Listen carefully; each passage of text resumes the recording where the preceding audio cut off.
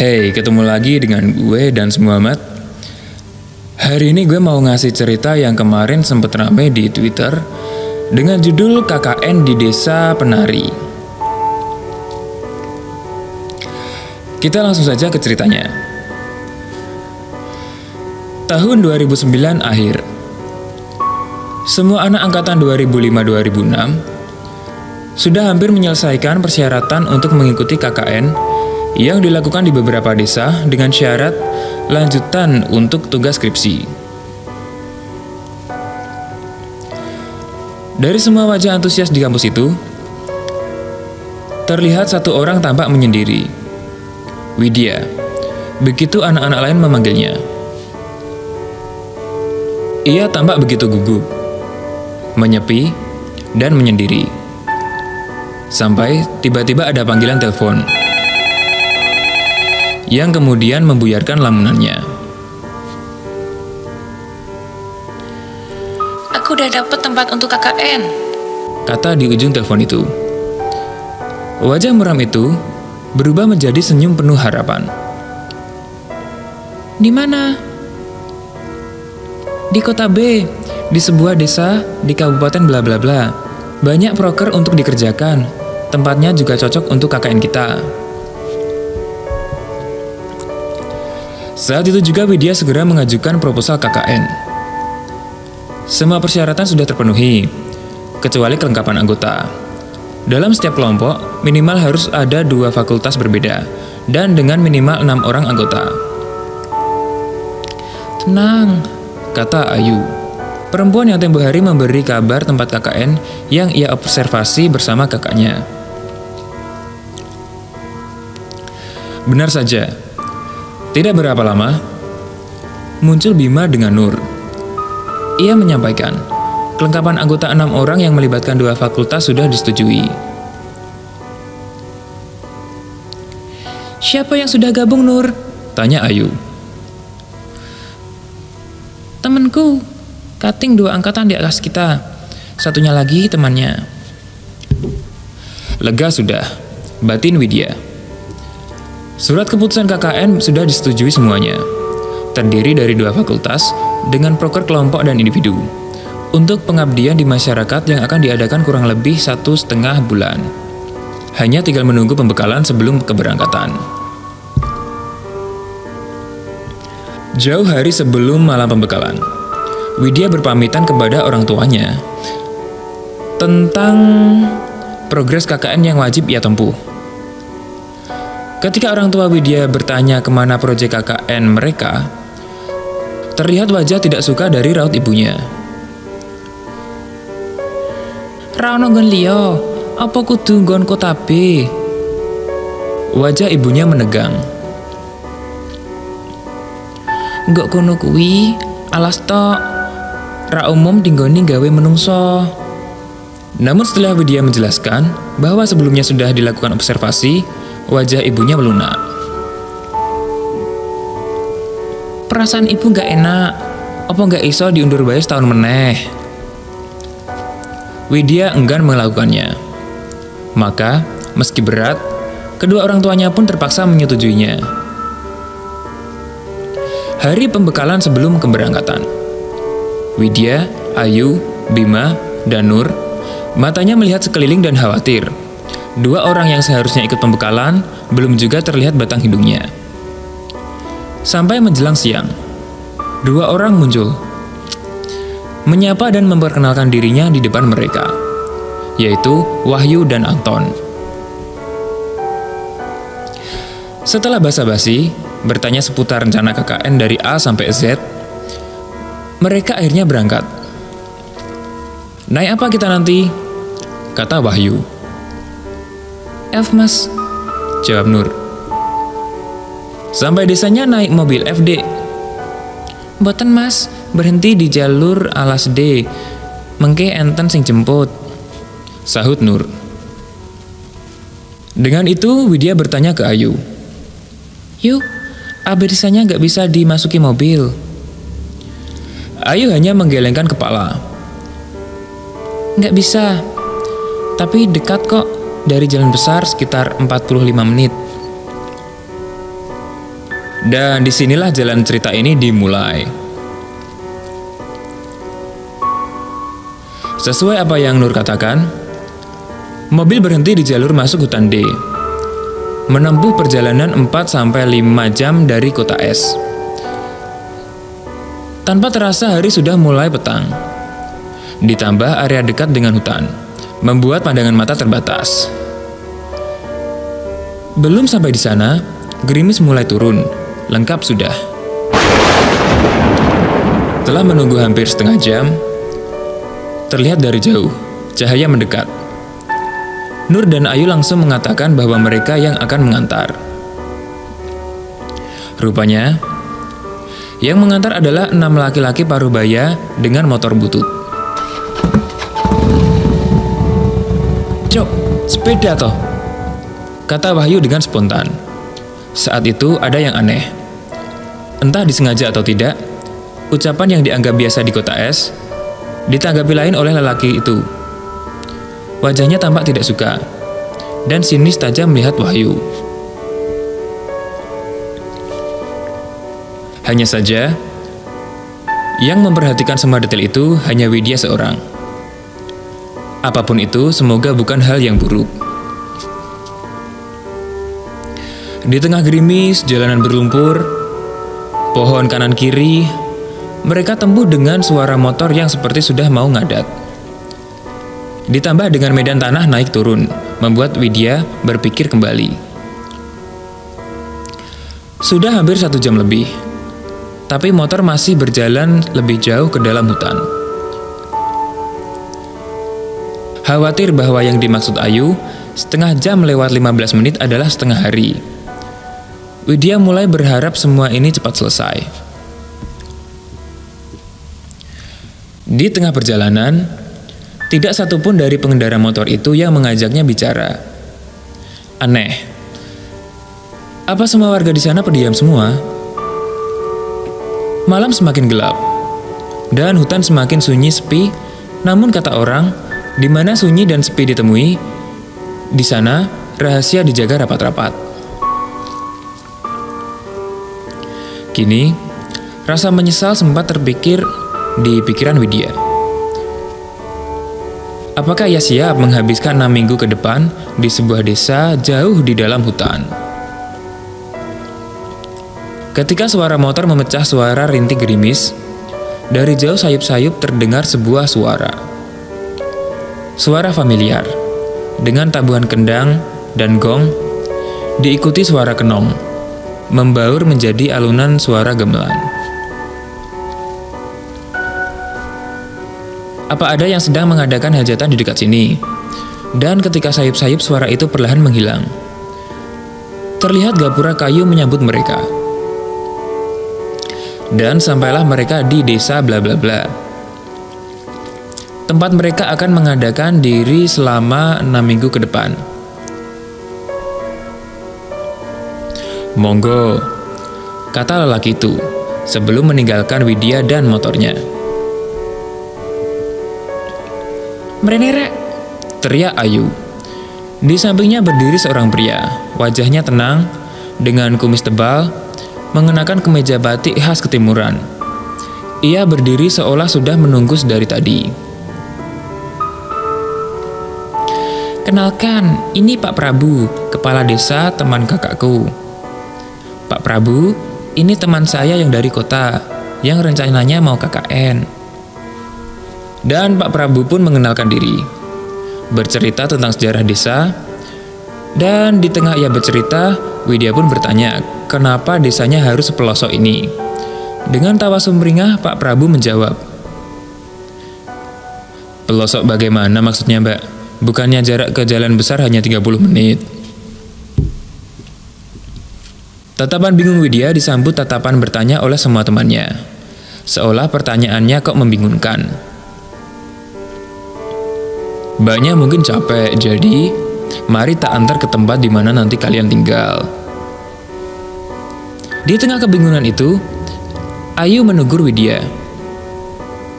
Maksudnya gimana Towit? Kok kamu tanya seperti itu?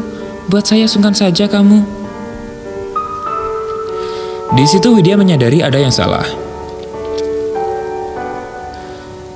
Tempat menginap untuk laki-laki adalah rumah gubuk yang dulunya sering kali dipakai untuk posyandu. Tapi sudah dirubah sedemikian rupa. Meski berlaskan tanah, tapi di dalamnya sudah ada bayang atau ranjang tidur berlaskan tikar. Sedangkan untuk perempuan menginap di salah satu rumah warga. Di dalam kamar Widya pun bertanya maksud ucapannya kepada Pak Prabu. Karena sepanjang perjalanan, Bila dirasakan oleh Widya sendiri, itu lebih dari satu jam. Dan Ayu membantah bahwa lama perjalanan tidak sampai selama itu. Anehnya, Nur memilih tidak untuk berdebat. Gini, kamu dengar gak? Di jalan tadi ada suara orang memainkan gamelan. Ya palingan ada warga yang mengadakan hujatan, apalagi. Dan berbeda dengan Ayu, Nur menatap Widya dengan ngeri.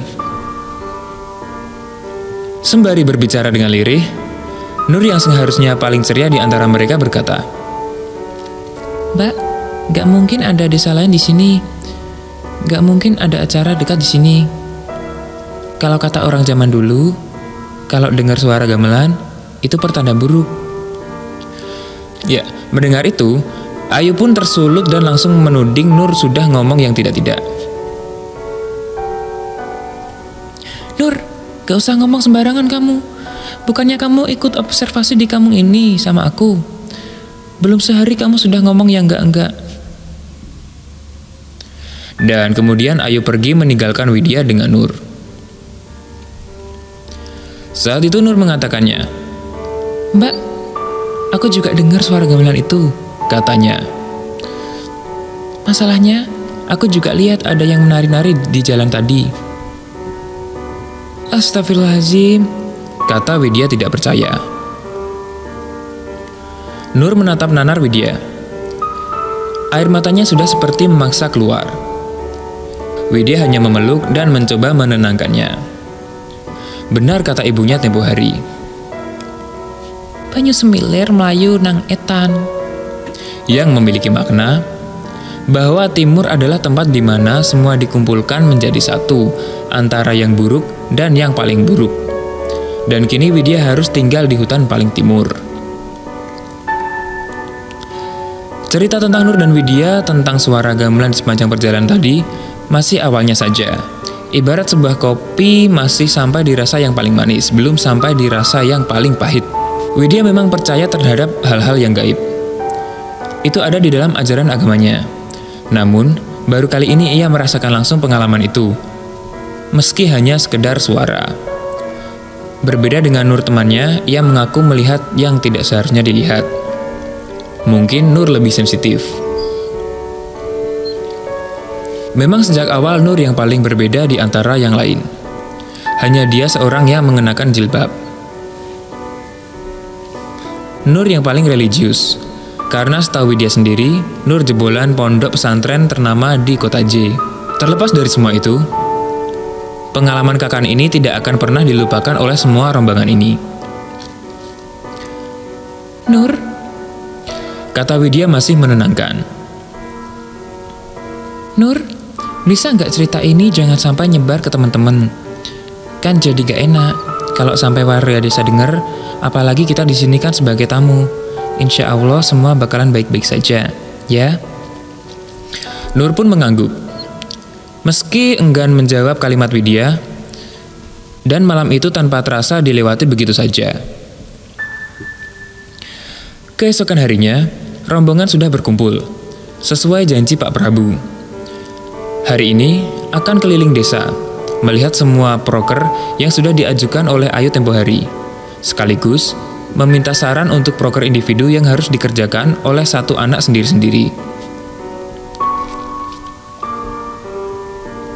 Ngene iki, walaupun saya tinggal ning kene, aku ya pernah kuliah lho, Dek. Sarjana lagi, kata Pak Prabu. Bahasanya bedok, campur-campur antara bahasa Jawa dan bahasa Indonesia. Mendengar itu, Wahyu menimpali. Itu loh dengarkan bapaknya, walaupun rumahnya di desa tidak lupa kuliah. Wahyu melanjutkan. Bapaknya ambil apa dulu? Perhutanan ya?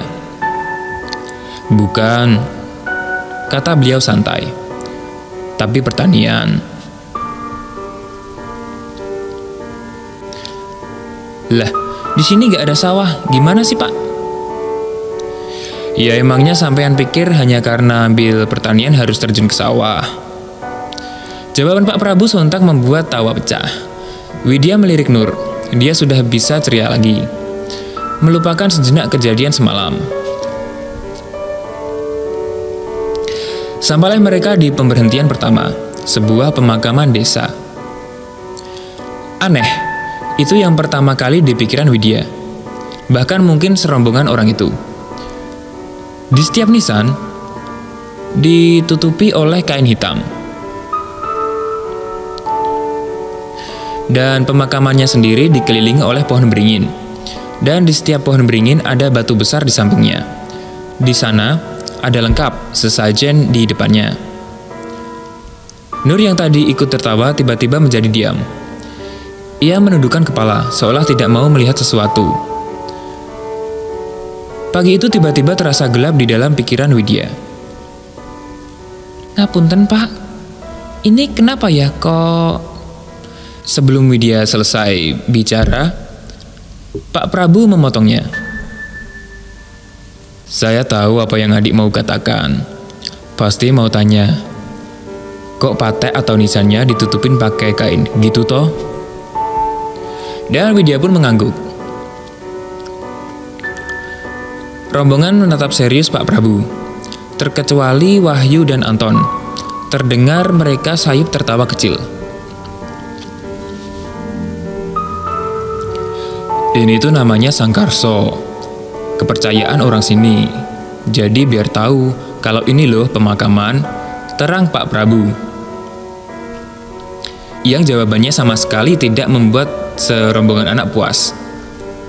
Sampai-sampai Wahyu dan Anton walaupun pelan-pelan sengaja menyindir, namun Pak Prabu bisa mendengarnya. Wong pekok yo iso beda no kuburan karo lapangan, Pak. Begitu kata si Anton dan Wahyu. Pak Prabu yang awalnya tersenyum penuh dengan candaan, tiba-tiba diam Raut wajahnya berubah dan tak tertebak. Semoga saja kalian tahu yang diomongkan ya. Kalimat Pak Prabu tersebut seperti penekanan yang mengancam. Setidaknya itu yang dirasakan Widya. Sontak, Bima langsung merespon dengan meminta maaf. Namun Wahyu dan Anton memilih diam setelah mendengar respon Pak Prabu. Monggo pak, bisa lanjut ke tempat selanjutnya. Dan tempat berikutnya adalah sinden atau kolam, tempat air keluar dari tanah. Pak Prabu mengatakan bahwa sinden ini bisa dijadikan proker paling menjanjikan. Tidak jauh dari sana ada sungai. Inginnya Pak Prabu, sinden dan sungai bisa dihubungkan, jadi semacam jalan air.